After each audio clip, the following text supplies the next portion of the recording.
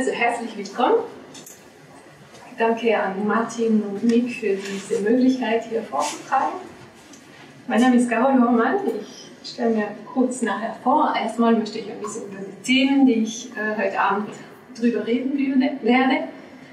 Erst reden wir über die Farben und deren Bedeutung, Trend aktuell und wo ich meine Inspiration hole. Dann mache ich ein konkretes Beispiel mit John Dorbar, kurz mit seinem Logo, Farben und Webdesign, äh, die ich nicht gemacht habe. Ich habe es nur das Layout gemacht, aber realisiert hat jemand anderen. Und ähm, zum Schluss werde ich ein bisschen über die Layouts sprechen, beziehungsweise die Themes, auf welche Kriterien ich dann äh, aussuche und äh, mein Lieblingsteam, Didi, werde ich auch ein bisschen zeigen, was er alles kann. Wie gesagt, mein Name ist Carol Hormann, ich bin Grafikerin und Webdesignerin, komme aus dem Wallis und ja, französischsprachig. Äh, ich habe in Fribourg studiert und dann äh, bin ich nach Zürich gekommen, weil ich meinen Mann kennengelernt habe. Äh, bin ich ursprünglich Lehrerin und habe dann mich neu orientiert nach meinen zwei Kindern als Grafik- und Webdesignerin. Ich habe zwei Homepages, ich bin selbstständig seit über zehn Jahren mit C-Grafik und dort mache ich Webdesign und Grafik, also Logo, Visitenkarten und so und Procreate, ähm, das ist ein Zeichnungsprogramm, das man auf dem iPad äh, verwenden kann. Also, erst die Farben. Ich habe ähm, die Farben hier für Europa äh, genommen, also die Bedeutung hier, weil es ist ja natürlich in Indien oder anderswo äh, nicht ganz die gleiche Bedeutung, aber ich fange mal, ich probiere sehr kurz über die Farben zu reden, ich weiß nicht, ob es ein Thema ist. Ähm, Rot ist, wenn man Rot sieht, denkt man erst an Blut. Also wenn man früher denkt, hat man ja, äh, die einzige Farbe, die rot war, war quasi Blut und deswegen ist es mit Gefahr und Aufregung. Und ähm, weil wenn man äh, aufgeregt ist, dann wird man auch rot im Gesicht und das ist auch eben für Aufregung oder Leidenschaft. Rot ist sehr dominant, es zieht die Aufmerksamkeit und deswegen muss man auch mit der Menge ein bisschen aufpassen. Ich würde nicht auf eine, eine Homepage eine ganz Hintergrund mit Rot, sondern wirklich ein bisschen punktuell. Die Restaurants haben sehr gern Rot, weil es regt den Appetit an. Und äh, ja, ich mache mal ganz kurz. Dann gehen wir zu Blau. Ich finde, wenn man den Wechsel sieht, Blau wird sofort ein bisschen beruhigend. Jetzt denkt man am Wasser, es ist ein bisschen vertrauensvoll und ernst. Deswegen ist es gern von der Finanzbranche äh, ausgewählt, ähm, weil es auch diese Image von Professionalität und Zuverlässigkeit gibt. Bei Gelb denkt man an Sonne, äh, es ist fröhlich, es ist äh, auch mit Hoffnung und Spontanität verbunden, man kann auch mit Gold oder Getreidefelder verbinden. Äh, es gibt dieses Eindruck von Lebhaftigkeit und Positivität. Violett war eine Farbe, die schwierig zu erstellen war damals und deswegen war es für die Adlige und die Reiche reserviert und das, deswegen ist es auch mit dieser Luxusidee äh, verbunden. Heute immer noch, aber auch mit Magie und Spiritualität. Orange gibt sofort ein bisschen Energie, es ist äh, mit Kreativität und auch die Jungen verbunden. Es ist auch eine auffallende Farbe. Sie hat die Energie von Rot und die Verspieltheit von Gelb. Sie ist gut für Veränderung und ähm, ich persönlich benutze es nicht gern so orange, weil ich denke immer an Coop und Migro hier in der Schweiz und an diese Aktion, aber es gibt auch andere Orange, die nicht so damit verbunden sind. Bei Grün war es im 18. Jahrhundert mit Tod verbunden, weil der Giftarsen war grün. Heutzutage ist es ganz anders. Es ist mit Naturwachstum, Umweltschutz und Nachhaltigkeit verbunden. Es ist eine Farbe, die sehr in Mode gekommen ist. Ähm, ja, mit viel verschiedenen Tönen. Und dann das Rosa. Ähm, denkt man sofort an Baby, an Süßigkeit, ein bisschen Romantik. Es ist äh, verspielt ähm, und äh, es hat diese Dominanz von Rot, aber nicht die Aggressivität. Es ist eine Farbe, die Spaß macht und nicht so ernst zu nehmen ist. Bei Braun denkt man an die Erde, es gibt Stabilität, es ist ein Unterstützungsgefühl, ähm, auch Wärme und Ehrlichkeit. Es ist eine gute Farbe für robuste Marken wie, ähm, oder Vintage-Marken, Outdoor und in den Handwerkkunst. Alles ist mit äh, Relativität zu dem, äh, das sind quasi die ähm, Ideen von diesen Farben, aber es hat natürlich verschiedene Töne. Also es hat, äh, hellblau ist nicht gleich wie dunkelblau etc. Deswegen würde ich da nicht so fix da reingehen, aber es ist gut zu kennen, welche, gut zu wissen, welche Farben mit welcher Idee verbunden sind.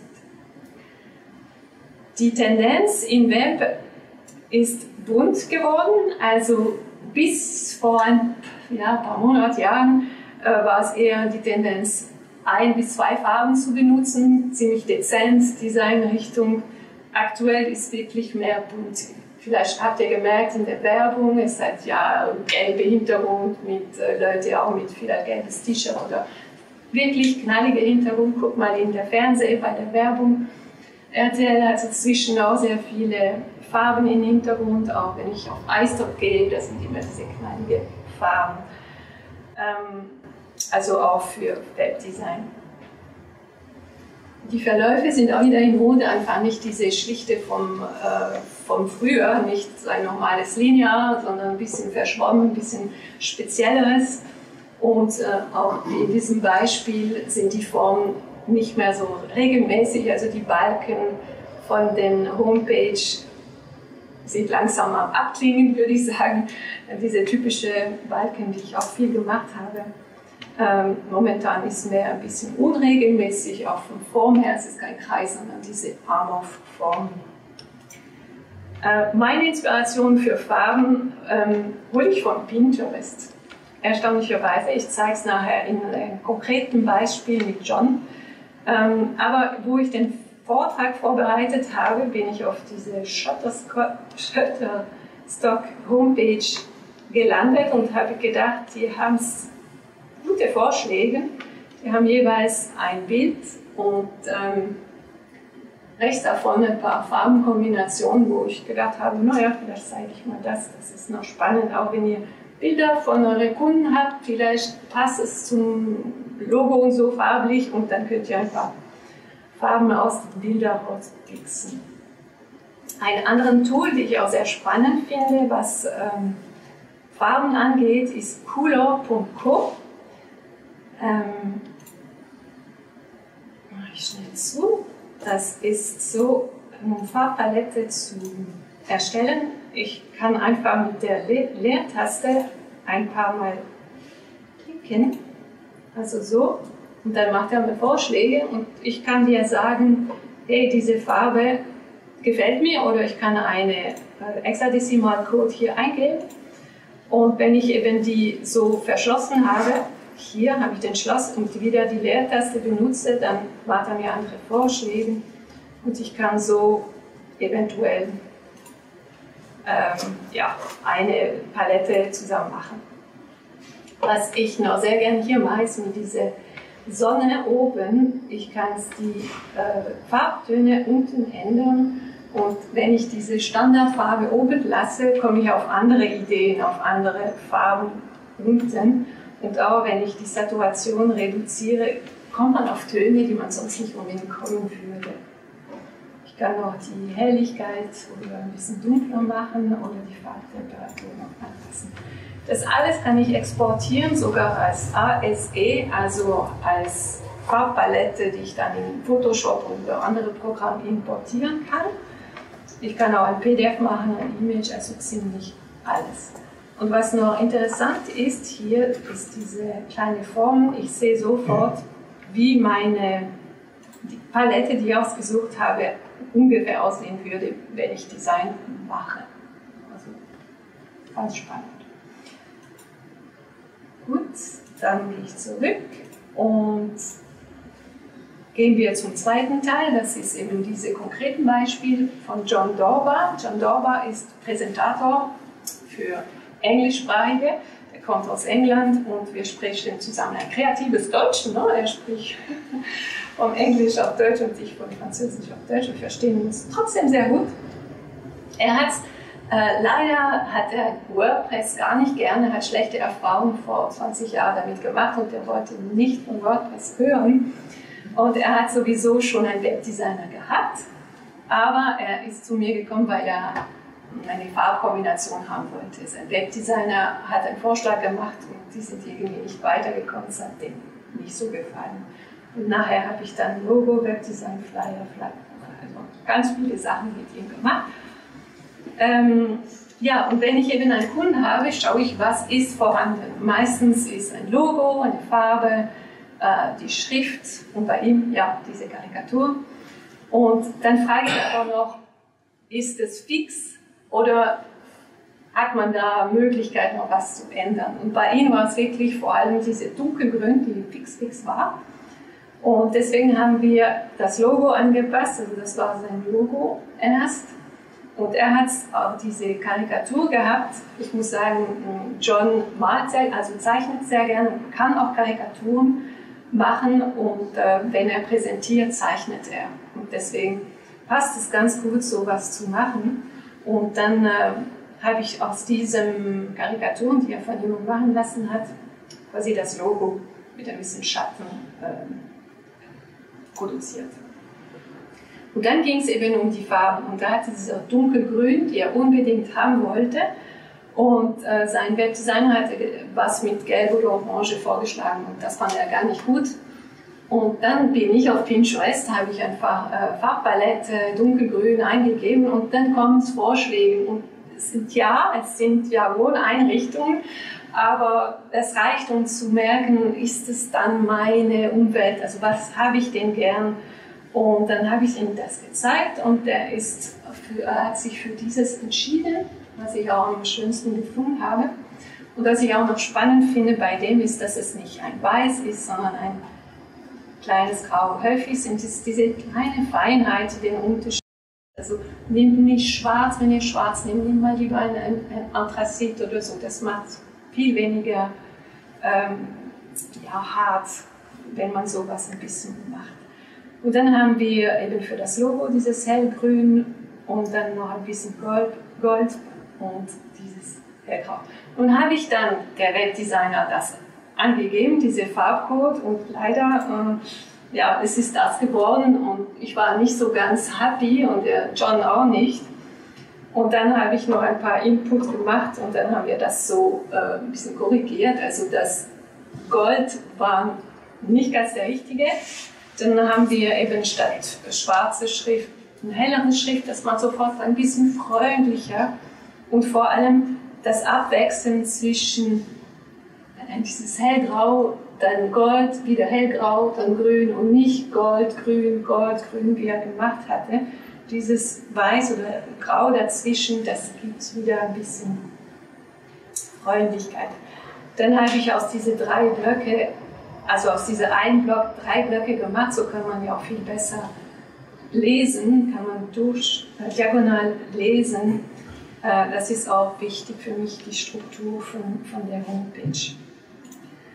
Äh, hier kann man auch sehen, das ist wieder ein bisschen der Rest der Homepage oder man kann auch die Zeichnung von John ein bisschen optimieren, mit dem äh, Hintergrund wegnehmen, ein bisschen Farbe reinbringen.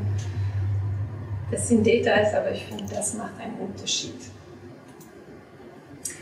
letzte Teil äh, ist das Layout. Wie wähle ich ein Layout aus? Also es ist schon mal nicht den Inhalt, also wenn ich eine Yoga-Homepage mache, suche ich nicht unbedingt nach einem Yoga-Layout. Ich mache es schon, aber nicht nur. Und ich, ich schaue nicht unbedingt nach der Farbe, weil das kann man ziemlich schnell ändern.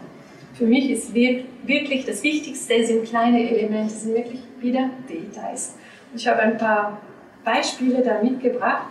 Das ist eine Homepage von einer Malerin und ähm, sie hat diese Bilder gemacht. Sie ist sehr viel mit Gold unterwegs und deswegen äh, habe ich was Schlichtes haben wollen. Also beim Künstler ist es sehr häufig so, dass die wollen, dass ein eher was weiß, was diskret, dass die Bilder zur Geltung kommen. Und ich bin, äh, das sind alle Divi-Template übrigens, ich bin äh, auf Divi gegangen, also auf die Layouts gegangen und habe ich das gefunden und eben das da hat mich äh, gefallen. Ich habe gedacht, das kann ich verwenden, aber dieses Flecken da, äh, orange und schwarz hat mich nicht so äh, gut gepasst, deswegen habe ich es einfach weggelassen und so ist diese Homepage entstanden. Ein anderes Beispiel, äh, das ist meine Homepage, prokoyets.ch. Ich habe es was ein bisschen verspielt haben wollen, so, weil es ja locker und es geht um Zeichnen, habe ich diese Layouts dann ausgesucht mit meiner Fluffy. Ähm, ich wollte eben was Lockeres und das kommt von dem Template. Das ist das Template, was ich verwendet habe und man erkennt wieder diese, dieses Pfad, das ich übernommen habe, auch die Farben habe ich übernommen. Ich finde, für einen selber ist es am schwierigsten, ein Design auszusuchen. Deswegen habe ich da ziemlich viel übernommen. Aber ich wollte was Lockeres, was, was ja, easy peasy. Und deswegen habe ich das so gemacht. Dann habe ich ein Beispiel für eine Zahnarztpraxis. Ich finde, bei Zahnarztpraxis muss es sehr clean und äh, ja, sauber, ein bisschen, äh, ein bisschen äh, ordentlich. Und da habe ich ein Template ausgesucht, wo diese ähm, Striche äh, zu sehen sind. Das hat mir gefallen. Genau, das war eigentlich eine Yoga-Seite. Und da habe ich diese Rechtecke gefunden, also diese Striche, wo ich gut fand, aber das passt natürlich nicht zu einem Zahnarzt. Und deswegen habe ich dann äh, ja, angepasst, wie das funktioniert. Dann habe ich für eben eine Yoga-Seite, also eben nicht die Yoga-Template ähm, genommen. Das ist, äh, bei dem hat es mir auf eine andere Template dieses Rahmen äh, gut gefallen und diese verschiedenen Elemente so. Und das habe ich aus diesem Template. Und das war auch ein Divi-Template, so dieser Rahmen und dann wieder diese vier Elemente. nächsten Beispiel, das ist jetzt nicht mehr ein Beispiel, wo ich ein Template zeige und was ich daraus gemacht habe. Das ist jetzt für eine Übersetzungsfirma, die Chameleon Language äh, heißt. Und sie hat natürlich ein Chameleon, das habe ich ausgesucht und dann habe ich mit CSS diese Farbveränderung gemacht und in den Chameleon drin, weil er äh, durchsichtig ist, kommt die Farbe auch so, ändert sich die Farbe auch mit dem Template drin. Also es sind Details, aber der Kunde merkt, es ist meine Homepage, es ist mein Dings, da findet man nirgendwo anders und deswegen ist, ja, im Prinzip äh, sind die Kunden dann sehr happy. Und das ist ein anderes Beispiel für Frau Hubmann und Herr Eckenfels ich war bei denen zu Hause und die haben so eine Katze gehabt und ich habe gemerkt, für den liegt, also die Katze liegt denen sehr am Herzen und, ähm, und dann sind wir auf die Idee gekommen, eben eine, eine, einen Schatten äh, für die Katze zu machen, weil es geht um Coaching und entfalten, entfalten sie ihr wahres Potenzial, hat es dann mit dieser Idee gut gepasst. Und äh, ja, sie hat es gefilmt, also sie hat ein bisschen gebraucht, bis die Katze genau so, was macht, nur erstmal guckt und wegguckt. Aber ja, das, äh, das hat sich gelohnt.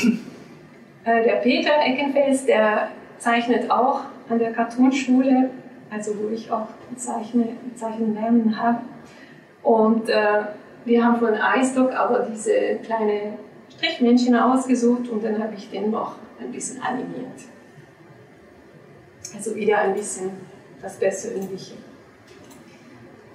Äh, für Novacore, Novacore ist eine Informatikfirma und sie hat im Logo dieses Werk und das, dieses Bild war auch vorgegeben. Dann habe ich ein bisschen äh, diese ganze Idee übernommen mit dem äh, Dreieck hier im Menü und wenn ich runter scrolle, habe ich noch einen Effekt da bei den, bei den Wolken, die ein bisschen Parallax machen. Und dann habe ich noch diese Divider, die auch ein bisschen diese Bergen widerspiegeln. So, das ist eben, was ich meine. Wirklich gucken, was ist vorhanden und was kann ich damit machen, ein bisschen Ideen kreieren und äh, ja, Freude vorbereiten. Im dritten Teil ist, also das war der dritte Teil des Layout, aber Divi gehört auch dazu. Und ähm, ich bin ein großer Fan, alle die Seiten, die ihr gesehen habt, sind mit Divi gemacht und man kann mittlerweile sehr viel machen mit dieser globalen ähm, Einstellungen von Farben, von Schriften, man hat Preset, man hat Header, Footer und auch bei dem Blog und WooCommerce hat man wirklich Möglichkeit, alles einzustellen, wie man gern hätte. Ich zeige es mal kurz. Ich habe hier wirklich in Page Builder die Möglichkeit, auf globale Farben zu gehen und dann kann ich sagen, das ist eine Farbe, die ich immer verwenden werde und ich ordne das zu, also für den Schrift, für den Balken, für äh, für diese Blurb.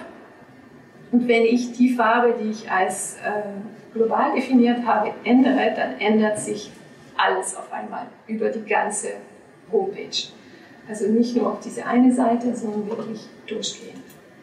Dann habe ich auch diese Möglichkeit mit dem Heading von H1 bis H6 kann ich alles einstellen, wie ich gern hätte, von Größe, Farbe, ob es Feld, Italik und so also wirklich alles, was man bei Schriftarten einstellen kann, kann ich pro H 1, 2, 3, 4, 5, 6 einstellen.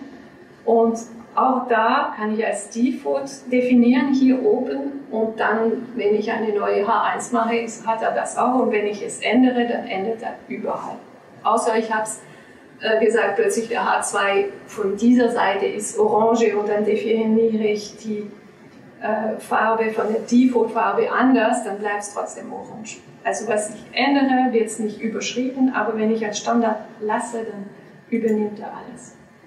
Dann habe ich Presets, die ich auch äh, kreieren kann, also sei es Schaltfläche, Blurb oder Sektion, ich sage es, wie viel Margin Padding ich gern hätte. Ich kann das alles definieren und habe hier oben ein kleines Menü und dann kann ich das zuordnen und wenn ich auch wiederum, wenn ich eine ändere von meinen definierten äh, Einstellungen, dann ändert er überall, über die ganze Homepage durch. Da hat man gesehen, es ist eine gelbe Schaltfläche mit runde Ecke gewesen und das ist eine violett mit äh, spitzige Ecke geworden. Dann äh, habe ich auch noch eine Bibliothek, wo ich mal Sachen exportieren kann in der Bibliothek und der Kunde oder ich kann es wieder importieren, wenn ich Sachen habe, die äh, immer wieder vorkommen oder irgendein Layout, die ich immer wieder anwenden möchte. Und ich kann sogar auch noch global definieren, wenn ich etwas haben möchte, die auch in einer Stelle geändert werden muss und überall äh, angewendet werden muss richtig gesagt. Also wenn ich zum Beispiel ein Formular hätte, die über mehrere Seiten äh, kommt, könnte ich da in der Bibliothek sagen, das ist mein Formular, ist global und dann, wenn ich da was ändere, ändert er auf alle Seiten äh, das Formular auch. Header und Footer kann ich auch so einstellen, wie ich gerne hätte, Anzahl Spalten, die Margin Padding, was ich drin haben möchte. Und das sind eben diese Theme-Bilder, wo ich äh, hier und hier einstelle und dann produziere ich in der Teambuilder diese Sache. Und dann kann ich sagen, zu welcher Seite ich diese Header-Footer zuordnen möchte.